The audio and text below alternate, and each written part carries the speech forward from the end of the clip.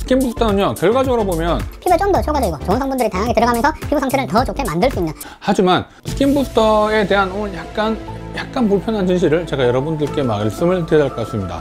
어 이러면 사실 결국은 피해는 소비자가 보는 거지.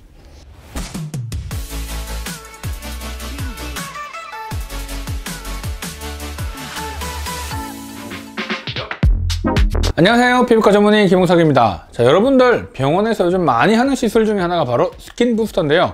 자 우리가 피부를 boosting 해준다 라는 표현이 뭐냐면 뭔가 어떤 시술을 하거나 어떤 여러 가지 화장품을 사용을 했을 때 피부 상태가 더 좋게 만들어지게끔 해주는 모든 그런 성분들, 제품들을 바로 우리가 스킨 부스터라고 하죠. 저희 스킨 부스터는요, 종류가 너무 많이 나와 있어요. 어떤 분들이 어떤 스킨 부스터를 쓰면 좋은지에 대한 부분들을 많이 검색을 해서 이야기를 문의하는 것들을 제가 많이 보게 되는데요. 스킨 부스터는요, 결과적으로 보면 이름이 좀 바뀌었을 뿐이지 과거에 치료해오던 방식과는 사실 큰 차이가 없는 것을 확인할 수가 있습니다. 과거에는 가지고 있던 여러 가지 제품들, 물광주사나 이런 것들도 다 스킨 부스터로 다시 묶는 이유가 뭐냐면 되게 old해 보이잖아요. 스킨 부스터 말고 물광주사, 아, 옛날에 하던 거고 또 지금 또 해? 이런 느낌을 좀 받을 수 있으니까 이런 것들 다 마케팅 요법으로 다시 묶어서 아, 스킨 부스터라고 얘기를 하면 아, 또 뭔가 새로운 시술이 되는 거죠. 그리고 사실 효과가 없는 게 아니라 다른 시술들 역시 효과가 되게 좋은 어, 그런 시술 방법 중에 하나였고 그런 방법들이 또 이렇게 그냥 어, 무조건 마케팅의 한 방법으로 이렇게 묻혀지는 것보다 실제로 이런 여러 가지 스킨 부스터라는 이름에 다시 또 태어나서 다시 또 이런 시술들을 하고 그리고 그 안에 들어가는 성분들 역시 다양하게 업그레이드가 되면서 다양한 성분들의 조합들로 사실은 만드는 거죠. 그러다 보니까 피부에 좀 더 효과적이고 좋은 성분들이 다양하게 들어가면서 피부 상태를 더 좋게 만들 수 있는 그런 전반적인 모든 그런 것들을 바로 스킨 부스터라는 개념으로 생각하시면 됩니다 화장품은요 정말로 누구나 아무나 사용할 수 있는 성분들 제품들이죠. 자 그 다음에 그런 제품들 안에 들어가 있는 성분들이 다양한 조합으로 구성이 되어져 있고 이런 구성을 효과가 있는 것들을 그 사용을 했을 때 피부 표면에 보통 주로 영향을 주는 게 바로 화장품이 되는 겁니다.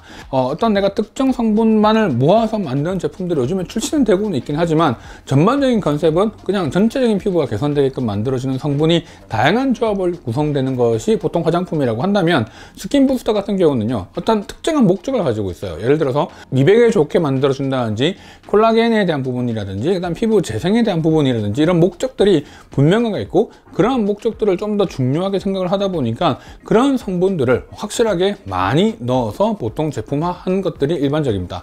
자 그러다 보니까 직접적으로 사실 우리나라에 등록되어 있는 제품들이 거의 대부분 화장품으로 등록되어 있는 경우가 많기 때문에 실제로 겉으로 봤을 때는 분명히 화장품하고 거의 차이가 나지 않죠. 그럼 이런 것들의 효과를 보게끔 하기 위해서 어떻게 할 수밖에 없느냐. 여러 가지 레저 시술이나 뭐 우리가 고주파나 이런 것들을 사용을 해서 피부 표면에 어느 정도의 홀을 만들죠. 그 다음 MTS 같은 시술을 통해서 구멍을 이렇게 만들어서 홀을 만들어서 이러한 성분들이 좀 더 잘 들어가게끔 만들어주는 여러 가지 방법들을 함께 사용하는 겁니다. 그래서 이런 스킨 부스터들은요 주사를 할 수 있는 주사제가 가능한 성분들이 있지만 화장품으로 등록된 대부분의 스킨 부스터 같은 경우는 이렇게 주사를 할 수가 없다 보니까 다른 레이저 시술과 함께 섞어서 보통 사용하는 경우가 많죠. 자 그러면 그때 화장품을 사용하는 거와 스킨 부스터를 사용하는 게 차이가 있느냐? 있죠. 왜냐하면 화장품은 사실 제품이 잘 들어가게끔 하기 위해서 다양한 성분들을 넣을 수밖에 없고 그러다 보면 이런 불필요한 것들이 좀 들어갈 수밖에 없다고 한다면 스킨 부스터는 그런 유효 성분만을 주로 타겟으로 하다 보니까 그런 것들이 피부에 잘 침투돼서 들어갈 수만 있다면 사실 매우 효율적이죠. 자 그래서 대부분의 이제 제품들을 사용할 때 레이저라든지 이런 MTS 같은 시술들을 해서 결과적으로 피부에 미세한 hole들을 만들고 잘 침투되게끔 하는 방법 들이 시술들이 붙는 겁니다. 이런 밖에서 발랐던 제품들이 더 안으로 침투가 잘 되고 타겟으로 생각하는 여러 가지 부분에 피부에 영향을 주게끔 만들어주는 요인들을 좀 더 활성화시키게끔 해주는 그런 요인인 거죠. 자, 그래서 결과론적으로 보면은 화장품과 스킨 부스터는 사실 지금 등록된 거는 둘 다 화장품이지만 좀 더 유효 성분에 focusing을 많이 둔 것이 바로 스킨 부스터가 되는 거고요. 그 다음에 화장품은 좀 누구나 그냥 사실 사용할 수 있는 그런 개념이라고 생각하시면 됩니다. 자, 그렇다면 스킨 부스터를 그냥 사가지고 발라도 되냐? 되죠. Twitter. 그렇지만 사실 이런 성분들을 발랐을 때는 단순하게 발랐을 때 피부 표면에 발라서 이것들이 피부 안으로 들어가서 흡수되고 영향을 주게끔 하기에는 너무나도 사실 좀 한계가 있다 보니까 이렇게 아까운 성분들 이렇게 많이 들어갔고 고함량 이런 좋은 성분들이 들어가 있는 것들을 단순하게 발라서 그걸로 끝낸다면 아깝잖아요. 자 그러다 보니까 최대한 이런 것들이 더 잘 침투가 되게끔 하기 위해서 여러 가지 시술 방법들이 혼합으로 들어가게 되는 거죠. 사실 이런 스킨 부스터는 종류가 여러 가지가 있는데요. 보통 가장 많이 쓰는 게 이제 히알루론산 같은 있는 수분을 잡아주는 방법들이 있고 두 번째는 아, 다양한 아미노산을 쓰죠.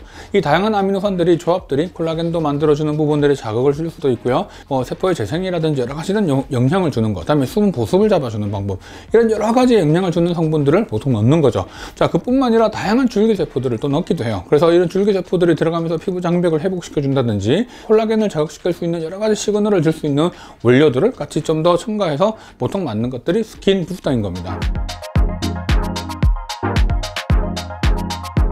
자, 우리나라에서는요, 분명히 스킨 부스터가 들어올 때는 외국에서는 분명히 의료기기로 등록이 돼서 주사가 가능한 제품들이 되게 많아요. 자, 그런데 한국에 들어올 때 이런 것들이 허가를 받는 과정에서 실제로 이걸 바로 우리가 주사로 넣을 수 있는 의료 기기로 등록이 돼서 제품이 활성화되면 좋겠지만 되게 이런 절차가 까다롭고 그다음 비용이 많이 드는 단점 때문에 보통 수입을 할 때 화장품으로 등록돼서 들어오는 경우가 많습니다. 자, 그럼 여기서 문제가 생겨요. 우리나라에 들어오는 무슨 무슨 주사라고 이야기하는 제품들은 실제로 무슨 무슨 주사라고 이름들이 적혀 있는 스킨 부스터지만 결과적으로 그런 주사를 하면 안 되는 화장품으로 등록되어 있는 거죠. 물론 화장품으로 등록이 되었다고 하더라도 그 화장품에 등록이 된 성분들 그 자체는 외국에서는 이미 허가가 받은 제품이긴 하기 때문에 실제로 주사를 한다고 했을 때 문제가 되지는 않죠. 하지만 우리나라에서 만약에 시술 후에 문제가 생겼을 때 어떤 특정한 부작용이 생겼거나 문제가 생겼을 때는 이게 좀 경우가 달라지게 됩니다. 자, 보통 이런 병원에서 홍보를 하는 과정에서 무슨 무슨 주사 사실 이거는 마케팅을 그렇게 많이 띄우는 과정에서 사실 무슨 무슨 주사라고 하는 이름을 들으면 소비자들이 일단 이 이야기를 들었을 때 첫 번째 느끼는 건 아 주사를 맞아도 되는 그냥 주사구나 그런 주사를 맞는 것들이 크게 문제가 되지 않을 거라고 당연하게 받아들이게 되는 거죠. 하지만 실제로 이런 이런 무슨 무슨 주사라고 하는 스킨 부스터가 우리나라에서 주사를 할 수 있는 제품은 거의 없다는 게 가장 조금 문제입니다.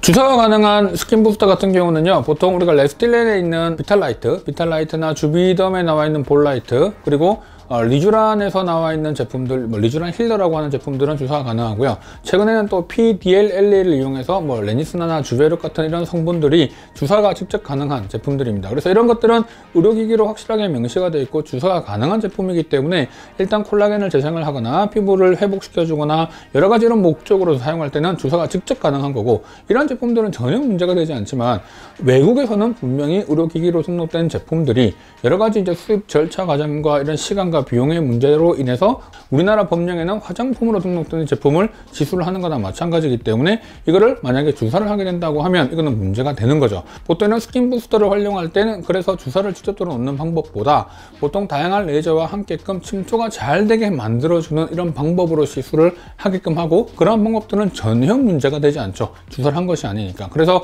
보통은 많은 병원에서 그렇게 시술을 해서 좀 더 이런 성분들이 잘 침투되어 있게 만들어주고 그런 것들이 피부 안으로 들어가 들어갔을 때 유효한 효과를 나타내게끔 만들어 주게끔 하는 거죠. 어떤 방법으로 시술을 하는지에 대한 부분들을 한번 정확하게 짚어볼 필요가 있는 겁니다. 사실 저는 그렇게 생각해요. 의사들이 근거 없이 시술을 하지는 않습니다. 하지만 이런 회사들도 마찬가지로 제품들을 수입하고 여러 가지를 유통하는 과정에서 매출을 올려야 되는 부분들도 분명히 있고 이런 매출을 올리는 과정에서 불법적인 요소가 분명히 생기게 된다. 법을 어겨야 된다는 요소들이 생기게 되면 문제 여지가 분명히 있을 수 있으니까 좀 더 안전하고 그 다음에 이런 부분들을 좀 더 잘 알고 시술을 받으시는 게 저, 어, 상당히 중요한 부분이 아닌가 생각합니다. 많은 유튜브를 보다 보면 이런 스킨 부스터를 이제 활용해서 시술을 할 때 마치 주사를 해도 되는 것처럼 이야기를 하시는 분들이 계세요. 주세요. 자, 분명히 아까도 말씀드렸지만 주사를 할 수 있는 제품과 주사를 하면 안 되는 화장품으로 등록되어 있는 자, 외국에서는 주사가 가능하지만 우리나라에서는 엄연하게 화장품으로 등록되어 있고 화장품으로 등록되어 있기 때문에 주사를 하면 안 되는 이러한 제품들로 확실하게 구별되어 있기 때문에 이러한 부분들을 여러분들이 모르고 만약에 시술을 받는다면 사실 여러 가지 문제점이 생길 수가 있다는 거 꼭 기억하셔야 됩니다. 자, 오늘 내용 좋으셨다면 좋아요, 구독, 그리고 알림 설정 부탁드릴게요.